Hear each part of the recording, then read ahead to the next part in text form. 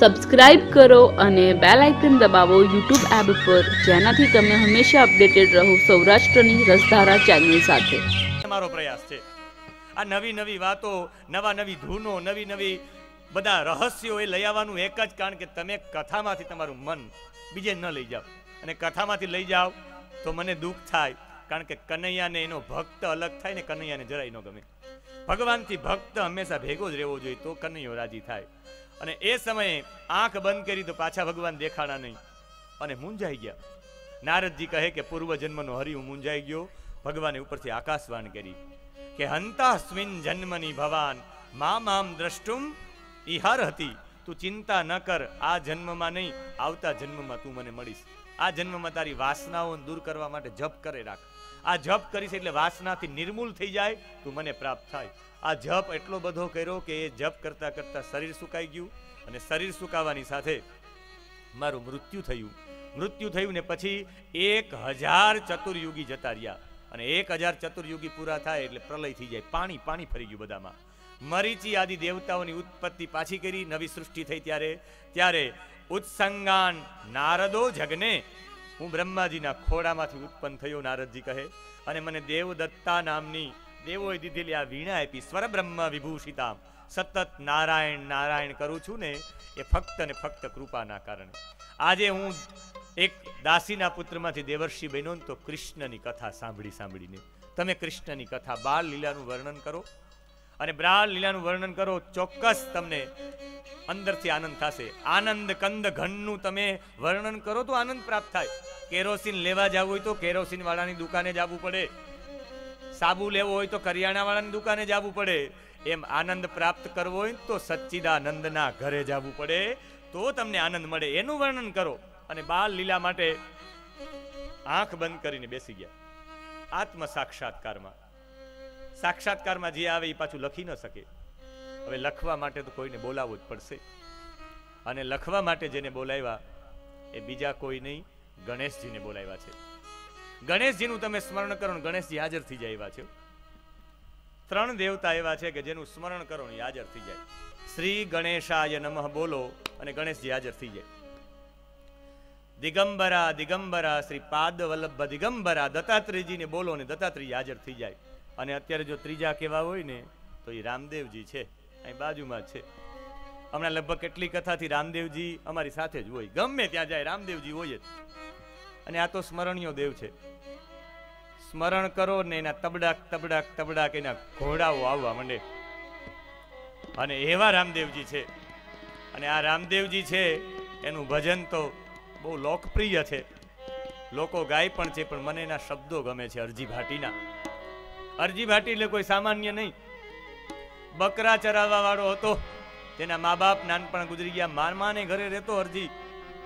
ભાટી અરજી. જેની પાસે એક પણ બકરીને દૂધ નહોતું ને રામદેવજી આવ્યા કે મારે દૂધ પીવું છે, કે આમાં કોઈ બકરી દૂધ જ નથી આપતી, કે તું જાતો ખરો? અને જ્યારે એ બકરી, એ દૂધનું આખું દેગડું ભરી દીધું, ત્યારે ખબર પડી ગઈ અરજી ભાટીને કે આ પરબ્રહ્મ પરમાત્મા છે.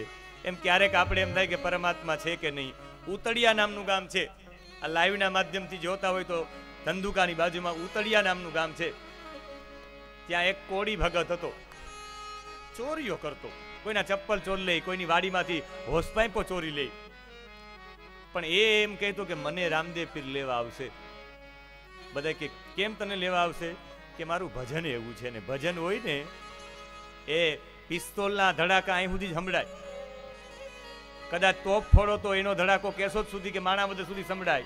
પણ ભજનનો ભડાકો હોય ને યુગો યુગો સુધી સંભળાય. ને એવા ભજનના ભડાકાની વાત છે. વાગે ભડાકા હરિ ભજનના વાગે ભડાકા હરિ રે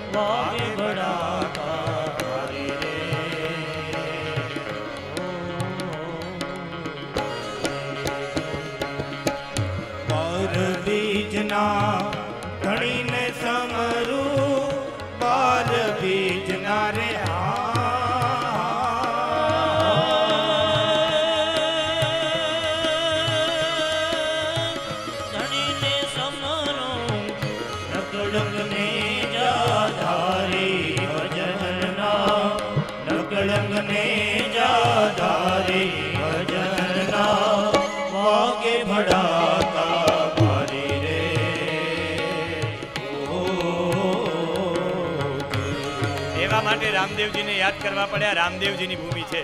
વર્ષો પહેલા કોયલાણામાં અહીંયા મંડપ થયો હતો. ભગતની ઈચ્છા હતી કે અહીં મંડપ થાય.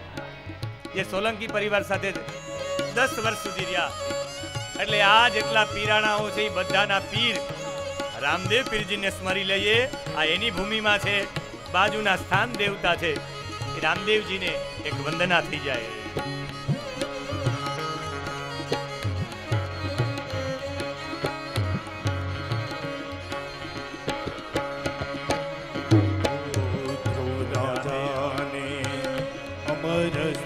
સ્થાપ્યો પ્રહલાદ પુકારો પડકારી રે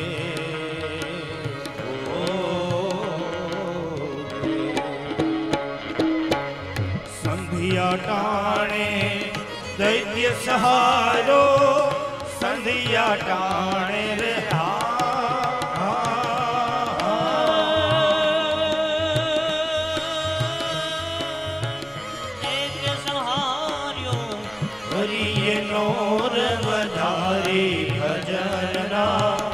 હરિયે નોર વધારે ભજનના વાગે ભડાકા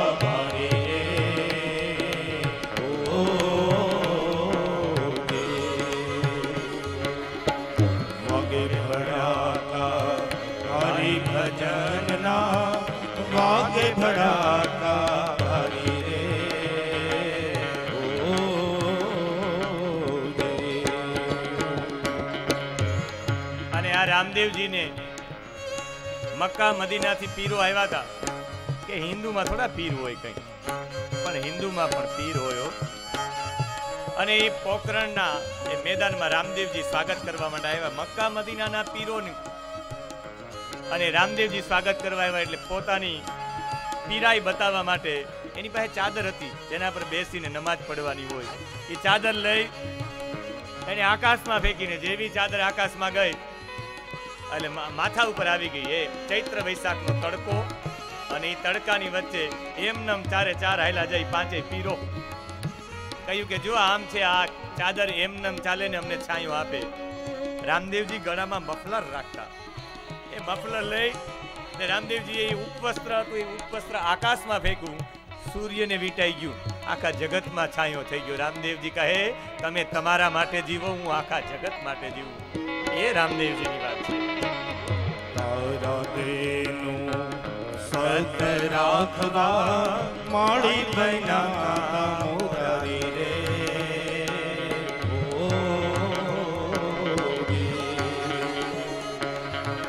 માલે રૂપાના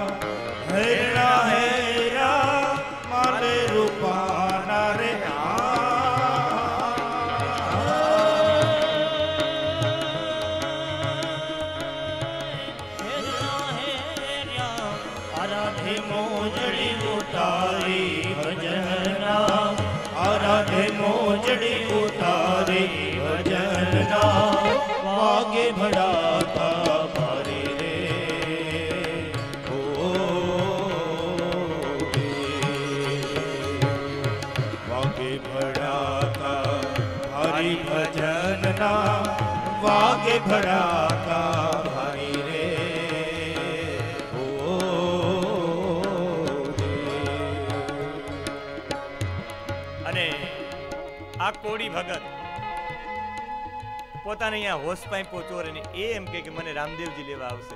અને ખરેખર એને રામદેવજી લેવા આવ્યા હતા. રૂપાભાઈ માસ્તર આજે પણ એના સાક્ષી છે.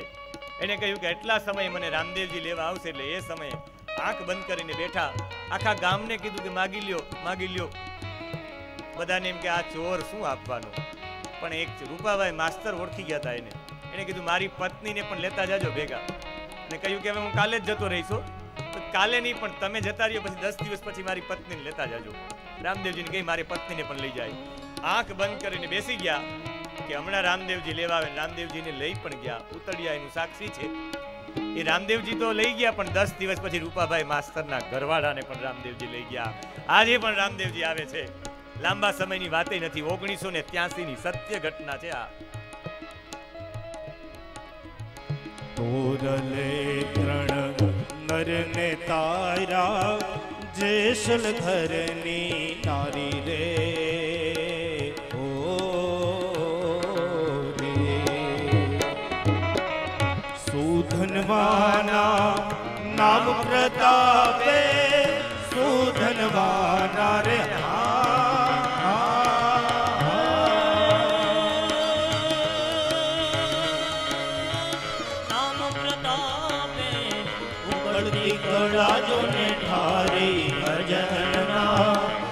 ઉકળતી કળા જોને ઠારી ભજનના વાગે ભડાકા ભારી રે ઓ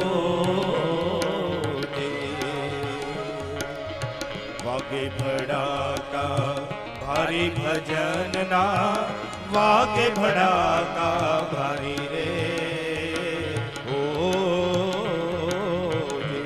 એકવીસ લાખ વર્ષ પહેલા સબરીએ ભજનનો ભડાકો કર્યો તો એકવીસ લાખ વર્ષ પછી પણ કોયલાણામાં સબરીને યાદ કરવી પડે એનો મતલબ એ ભજનનો ભડાકો કેટલો મોટો હશે? અરે પ્રહલાદે વર્ષો પહેલા પ્રહલાદે ભજનનો ભડાકો ભડાકો વગાડ્યો. આજે યાદ કરવા પડે સાડા છસો વર્ષ થયા ક્યારેક રામદેવરાજ જો રામદેવજીની સમાધિએ. એ રામદેવજીની સમાધિને આમ પ્રદક્ષિણા કરો ને, ત્યારે પાછળ એક નાનકડી બારી છે. એ નાનકડી બારીમાંથી જોવું તો સામે જ્યોત છે. સાડા છસો વર્ષથી અખંડ જ્યોત છે. એમાં રામદેવજી દેખાય. આટલા બધા વર્ષો થઈ ગયા, આપણે આપણી સાત પેઢી યાદ નથી. આપણે પ્રહલાદને, ધ્રુવને, શકુબાઈને યાદ કરીએ. એનો મતલબ છે કે આને કહેવાય ભજનનો ભડાકો. એક ગામ સુધી નહીં, હજારો યુગો સુધી સંભળાય. એ ભજન માટેની વાત છે. જે એક વખત ધારી લે કે અમારો પતિ, ઓલો નેજા ધારી જ હોય, અમારો ધણી અમે નેજા ધારીને ધારી લીધો છે. એના જીવનમાં એવું ભજન આવે અને એવા અરજી ભાટીને પણ આજે યાદ કરવા પડે. પડે પીર રામને સમરો એ છે અલખ અવતારી રે.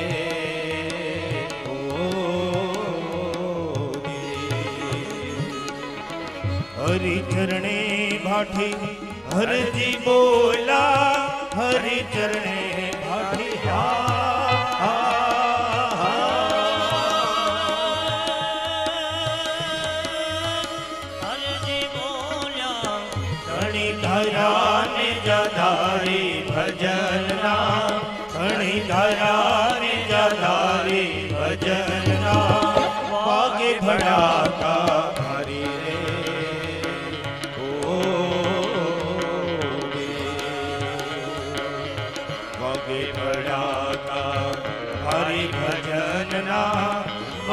ભડાકા હરી રે. ઓ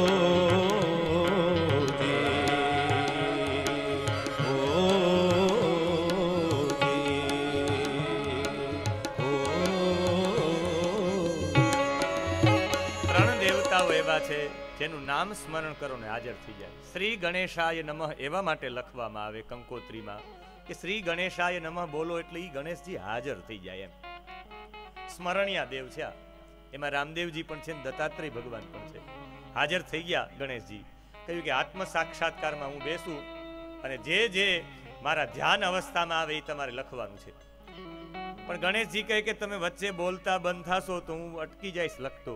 કહ્યું કે બંધ નહીં થાવ, પણ તમારે જે પણ લખો ને વિચારીને લખવાનું. અને સાક્ષાત્કારમાં બેસી ગયા ધ્યાનમાં.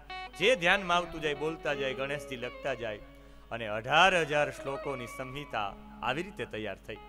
બધું ધ્યાનમાં તૈયાર કર્યું છે ટોટલી. પરમાત્માની માયાનું દર્શન થયું અને પરમહંસની સંહિતાનું નિર્માણ થયું અને આ જ સંહિતા ભણાવવામાં આવી સુખદેવજીને. અને સુખદેવજીને શા માટે ભણાવી? એ વાતનો પ્રશ્ન પૂછતા શૌનકાદી ઋષિઓ કહે કે અમે તો એવું સાંભળ્યું છે કે એ તો નિવૃત્તિ નિરત. એ તો નિવૃત્તિમાં રહેવાવાળા હતા હતા. સર્વત્રોપેક્ષકો મુનિ. અને એ તો મુનિ જેવા હતા, જેણે આત્મારામમાં રમવા વાળા હતા, જેનો જન્મ થયો ને નીકળી ગયા હતા શુકદેવજી. તો ભણ્યા ક્યારે? અરે, એનું તો હરિર ગુણાક્ષિપ્ત મતિ ભગવાન બાદરાયણી જે સુખદેવની મતિ નિર્ગુણમાં હતી, એ મૂર્તિમાં માનતા જ નહીં. અરે, કૌશિકી સંહિતા કહે કે જે માના પેટમાં હતા ને માના પેટમાં જ ભગવાન પાસે શરત મૂકી હતી. કે મને માયા સ્પર્શ ન થવી જોઈએ, તો બહાર આવું. સોળ વર્ષ રહ્યા માના પેટમાં. એક મત છે કે બાર વર્ષ, પણ કૌશિકી સંહિતા આધારિત સોળ વર્ષ સુધી પેટ માર્યા. જે માં પાર્વતીને કથા સંભળાવતા હતા, ભોળાનાથ અમરકથા.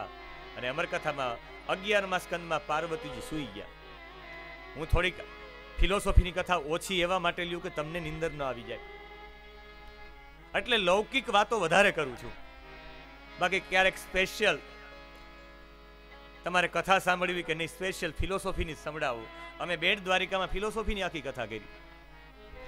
પહેલા દિવસે કથામાં જ્યારે બેઠા ત્યારે એક સંતના આશ્રમમાં કથા હતી. એક મોરબીના એક સાધ્વી હતા કે થોડીક કથા ફિલોસોફીમાં કરો નહીં. પછી મેં એટલી બધી ફિલોસોફીમાં કરી કે એને કહ્યું કે હવે કંઈક સાદામાં આવી જાવ આખો સમાધિ ભાષાનો ગ્રંથ છે. અને એટલો બધો આનંદિત ગ્રહ છે કે લૌકિકમાં આનંદ આવે ને અલૌકિકમાં આનંદ આવે.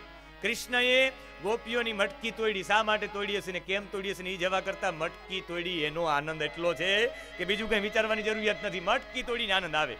વિચારો કોઈનું માખણ ચોરે તો આપણે આનંદ આવે. એ કેટલો આનંદથી ભરેલો હશે. કૃષ્ણ કનૈયો, આનંદથી ભરપૂર છે એની વાતો કરો તો આનંદ આવે તો એને સમજવાની તો વાત જ અલગ છે. અને અહીંયા નાનપણમાં જ જે બધું છોડીને જતા રહ્યા છે, એની પાછળ પાછળ દોડ્યા છે. કે હે પુત્ર હે પુત્ર કરતા દોડ્યા છે. યમ પ્રવ્રજંતમ અનુપેતમ અપેત કૃત્યમ. દ્વેપાયનો વિરહ કાતર આજુહાવ વિરહથી આતુર થઈ ગયા. હે પુત્ર પુત્ર દોડ્યા. વ્યાસજી પાછળ પાછળ. પણ એ સમયે વૃક્ષોમાં એકદમ લીન થઈ ગયા હતા એક થઈ ગયા હતા આખા જગતમાં એક થઈ ગયા હતા અને એવા એક થયેલા હતા, એની ઉપર તો કંઈ ફરક જ ન પડે. એટલે ફરક ન પડે એટલે અંદરથી વૃક્ષોએ જવાબ આપ્યો. કે સર્વભૂત હૃદયમ, આ તો બધાનું હૃદય છે. મુનિમ, આ તો મુનિ છે, આ નતોસ્મી. એટલે ચારે તરફ નમસ્કાર કર્યા. ચારે તરફ વ્યાસજીને સુખદેવજી દેખાણા, વૃક્ષમાં સુખદેવજી દેખાણા. દરેક જગ્યાએ સુખદેવજી દેખાણા હશે. કારણ કે તો બ્રહ્મનું સ્વર્ગ હતું. સાક્ષાત મહાદેવજી સુખદેવજીનો અવતાર લઈને આવ્યા હતા. અને સંસ્કાર તો એને કરવા પડે જેના જીવનમાં વિકાર હોય. અરે જનોય પણ ન મળી હોય ને, યમ પ્રવ્રજંત, બધું છોડીને જતા રહ્યા હોય. અને એવા જતા રહ્યા, હવે એ દીકરાને અધ્યયન કરાવવું હતું ભાગવતજી જેવું. ભાગવતજીનું અધ્યયન કરાવવું જ છે. એ હેતુથી એના વિદ્યાર્થીઓને કહ્યું કે સમિધા લેવા જાઓ ને જંગલમાં. જ્યારે પણ ડર લાગે ત્યારે આ બે શ્લોકો બોલવા. જ્યારે જ્યારે પણ ડર લાગે ત્યારે આ બે શ્લોકોનું પઠન કરવું. અને વિદ્યાર્થીઓ સમિધા લેવા માટે ગયા છે જંગલમાં. એ સુખદેવજીને સંભળાવવા માટે નહીં, પણ સમિધા લેવા જાવ ને ડર લાગે ત્યારે આ શ્લોકોનું આવર્તન કરવું. અને વિદ્યાર્થીઓએ શ્લોકનું આવર્તન કર્યું. આ શ્લોક આશાવરીમાં છે અને ભગવાનના સ્વરૂપ માટે છે. ભગવાન કેવા લાગતા હતા?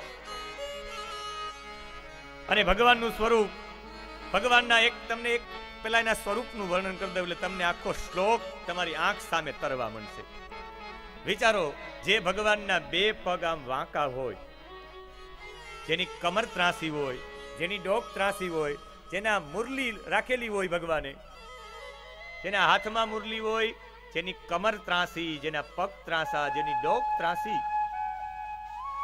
અરે જે પરમાત્મા છે, એના મસ્તક ઉપર મોરનું પીછ હોય, જેના કાન ઉપર એક કરેણનું ફૂલ હોય, જેના ગળામાં અહીંયાથી ગળાથી લઈને પગ સુધી પહોંચે એવી વૈજંતી માલા હોય, કાળી ચણોઠીની માળા પહેરી હોય.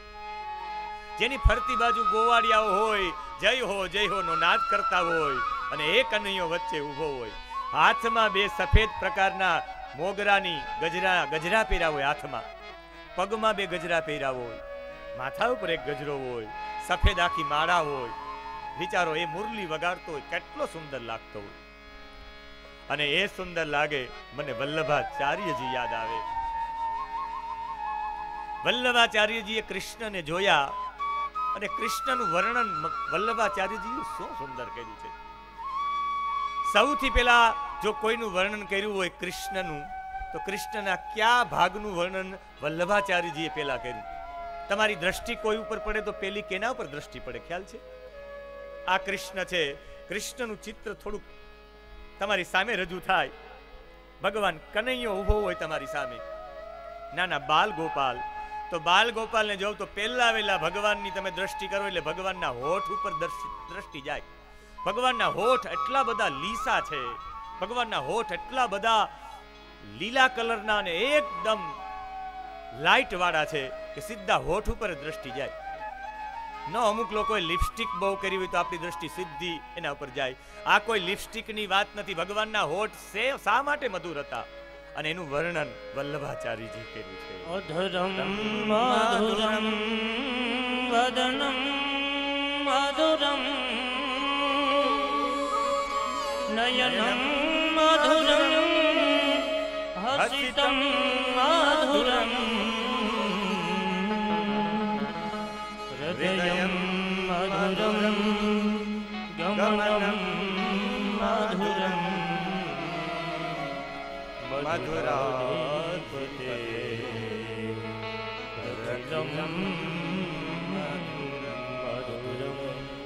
શેષ ફિલોસોફી આપી દઉં કારણ કે આખી કથા જ ફિલોસોફી વાળી છે. અધરમ મધુરમ. આ ભગવાનના અધરોષ્ટ મધુર છે. પણ મધુર એને ન કહેવાય કે એના ઉપર કંઈક લગાડવામાં આવે, એવા સાધનો લગાડવામાં આવે. પણ હોઠ તો એના મધુર કહેવાય, જેના હોઠ કોને કહેવાય? હોઠની વ્યાખ્યા સંસ્કૃતમાં કરવી હોય તો ઓષ્ટ્ય આ હોઠમાંથી જે શબ્દ નીકળે, પ, ફ, બ, ભ અને મ, હોઠ વિના બોલી જ ન શકાય. ક, ખ, ગ, ઘ. એ કંઠમાંથી બોલી શકાય. ચ, છ, જ, ઝ. આ બોલવાય તો જીભ તાળવી અડાડવી પડે. ચ, છ જ ઝ. તમારે ત, થ, દ, ધ ન બોલવા હોય તો જીભ દાંતને અડાડવી પડે. ત, થ, દ, ધ, ન. ત્રણ પ્રકારના શ આવે. એક મીંડાળીઓ શ, શંકરનો શ. એ બોલવો હોય તો જીભ તાળવી અડાડવી પડે. શિવ, શંકર. તમારે સોમનાથનો સ બોલવો હોય તો જીભ દાંતને અડાડવી પડે. સોમનાથ. પણ તમારે ઋષિનો, ષટકોણનો શ બોલવો હોય તો જીભ આમ કરવી પડે. ટ, ઠ, ડ, ઢ, અણ, એની જેમ જીભ કરવી પડે. ઋષિ, બોલો તો આમ જીભ કરવી પડે. ષટકોણ, તો એમ બોલવું પડે. એ જીભ એમ કરવી પડે એટલે હોઠ ન હોય ને પ ન બોલી શકે, મ ન બોલી શકે. ભ, પ્રેમાનંદ સ્વામી કરીને થયા. એણે એક આખો છંદ બનાવ્યો, જેમાં આખો પ વર્ગ જ નહીં. પ, ફ, બ, ભ માં ક્યાંય આવે જ નહીં. હોઠ ખુલ્લા જ રહી. પ, ફ, બ ભ માં બોલો તો હોઠ બંધ કરવા પડે.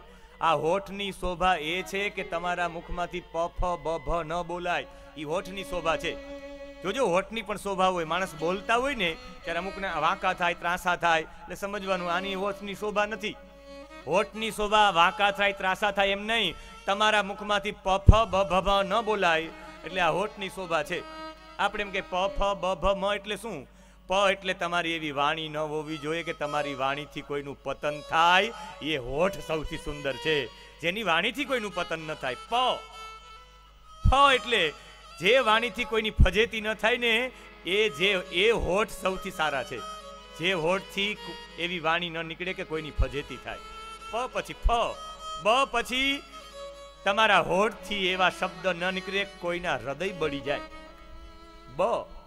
પ, ફ, બ. ભ એટલે તમારા મુખમાંથી એવી વાણી ન નીકળે કે કોઈ ભયભીત થાય તમારી વાણીથી. તમારા હોઠમાંથી ભ ન નીકળે એટલે તમારી વાણીથી કોઈ ભયભીત ન થાય. અને છેલ્લે મ. મ એટલે મરજી.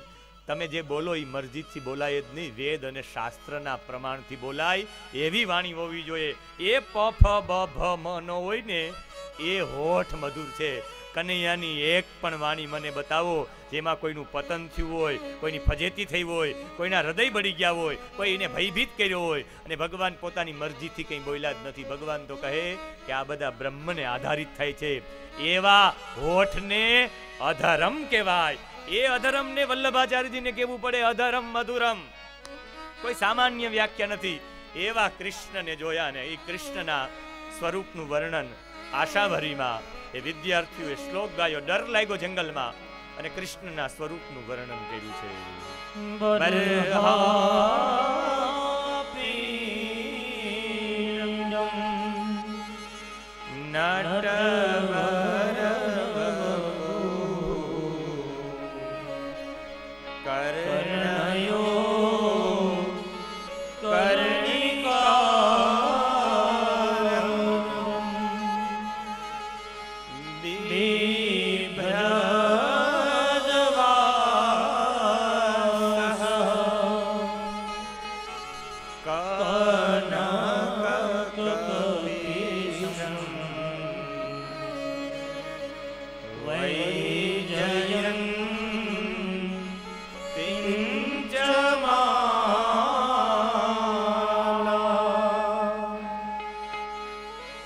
रन्द्रा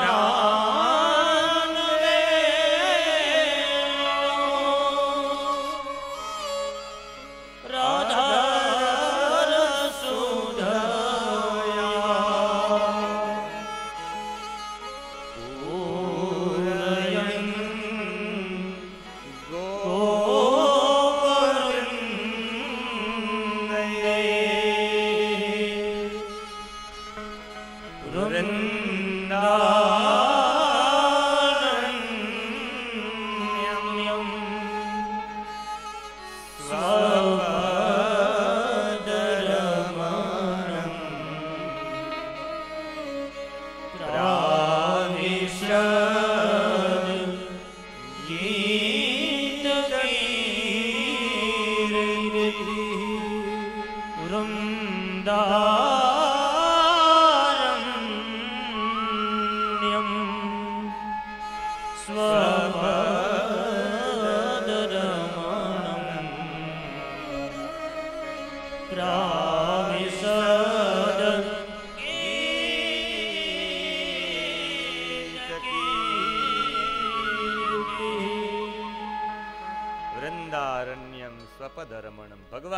વૃંદારણમાં જતા હતા વૃંદાવનમાં ગાયો ચરાવા જાય. ફરતી બાજુ ગોપ બાળકો હોય ને ભગવાનની આવેવું સ્વરૂપ જોઈ કોણ આકર્ષિત ન થઈએ? સુખદેવજી સાંભળી ગયા. સુખદેવજી ઊભા થઈને દોડીને ગયા કે સુંદર શ્લોક બોલ્યા છો. બહુ સુંદર શ્લોક છે. પછી પછી વિચાર્યું કે સ્વરૂપ તો બધાયનું સારું હોય. સ્વભાવ સારો હોય તો ગણાય. પાછા જઈને સમાધિમાં બેસી ગયા. પણ બે શ્લોક ગાવાની વાત તો ગુરુજીએ કરી જ હતી. ભગવાન બિભ્રદ વાસહ કનક કપિશમ. એટલે ભગવાને સફેદ કલરનું વસ્ત્ર પહેર્યું હતું ધોતી અને એમાં સોનાની બોર્ડર હતી. કનક કપિશમ. એક અર્થ એવો થાય, પણ શ્રીધર સ્વામીજી કહે કે નહીં નહીં, ખાલી એવો અર્થ નથી. બિભ્રદ વાસ એટલે સાત્વિકતા છે ભગવાનમાં, સંપૂર્ણ સાત્વિકતા. પણ કેવી સાત્વિકતા? કનક કપિશમ. કોઈને આંજી દે એવી સાત્વિકતા? તમારી સાત્વિકતા હોવી જોઈએ, પણ ભગત બને એવી નહીં. ભગતસિંહ બને એવી હોવી જોઈએ. તમે ભગવાનનું ભજન કરો તો તમારા ભજનથી બે લોકો પ્રભાવિત થવા જોઈએ અને ભજન કરવા માંડવા જોઈએ. તમે ભગવાનના મંદિરે જાઓ તો તમારી એ ભગવાનના મંદિરે જવાની સાત્વિકતા લોકોને પ્રભાવિત કરવી જોઈએ. હું તો કહું, આ દુનિયામાં જેટલું કરવું છે ને ભગવાનનું ભજન એ બતાવીને કરો. બે પાંચ લોકો તમને જોઈ જોઈને પણ માળા કરતા તો થશે ને. કમસે કમ તમે મંદિરે જાઓ ને તમારી પ્રગતિ થશે. લોકોને થાય કે, હા, આ કાળેશ્વર મહાદેવના મંદિરે ગયો, ત્યારથી પ્રગતિ થઈ. લોકો કાળેશ્વર મહાદેવના મંદિરે જાતા થઈ જશે. કોઈને એમ થાય કે આ દ્વારિકા જાય ને પછી એની પ્રગતિ થઈ, દ્વારિકા જતા થશે. બતાવો તમારું પ્રદર્શન કરો. આમ તો ભક્તિ ગુપ્ત રાખવાની વાત છે, પણ આ સમયમાં જાહેર કરવી પડે. કારણ કે અત્યારે જાહેર ન કરો, અત્યારે કોઈને કે ગૌશાળામાં એટલા રૂપિયા આપો તો કોઈ આપે નહીં, પણ બેન્ડ વાજામાં ગૌશાળાવાળા વગાડે તો કેટલા પૈસા ઉડી જાય એ ખબર ન પડે. આમ વીસ હજાર દાન દેવા માટે ન જાય. આ પદ્ધતિ કરવી જ પડે. ભગવાનને પણ વાલી લાગે. એટલે મને એવું લાગે ડાયરામાં પૈસા ઉડે છે. એટલે મને એવું લાગે કે પૈસા ઉડાડવાની પદ્ધતિ આવી છે. બાકી એમનેમ થઈ શકે એમ જ નથી. એક લાખ રૂપિયો કદાચ ગોરમાં થઈ જશે, પણ એક લાખ તમે ફાળો લેવા માટે નીકળો પહોંચ લઈને. કોઈ પાંચ હજારથી વધારે નહીં લખાવે. સાંપ્રત સમયમાં જેવી જેવી જરૂરિયાત હોય એવું એવું થાય. આ બધું કનૈયાના ઈચ્છાથી જ થાય. એમાં રોકવાના પ્રયત્ન કરીએ તો રોકાય નહીં. એનું કારણ છે કે આ પ્રવાહ છે અત્યારે દયા ખાનારા લોકો, જ્યાં જ્યાં છે દયા કરનારા ઓછા છે. મેં કહ્યું ને. એમ બિબ્રદવાસ તમારી સાત્વિકતા કોઈને પ્રભાવિત કરવી જોઈએ. કનક કપિસમ સોનું રસ્તામાં પડ્યું અને ચમકતું હોય તો ગમે એવા માણસને રોકાવવું પડે. ભલે જોતું ન હોય તો એકવાર જોઈ ચમક હોય તો એકવાર જોવું તો પડે. તમારી સાત્વિકતા કૃષ્ણની સાત્વિકતા ચમકવા વાળી છે. અને એ સમયે વિચાર કર્યો કે સ્વરૂપ તો ગમે એવું હોય, સ્વભાવ સારો હોય તો પાછા બેસી ગયા પણ વિદ્યાર્થીએ બીજો શ્લોક ગાયો. અને બીજો શ્લોક ભગવાનના સ્વભાવ વાળો છે. ભગવાન દ્વારિકાધીશનો સ્વભાવ કેવો છે? અહો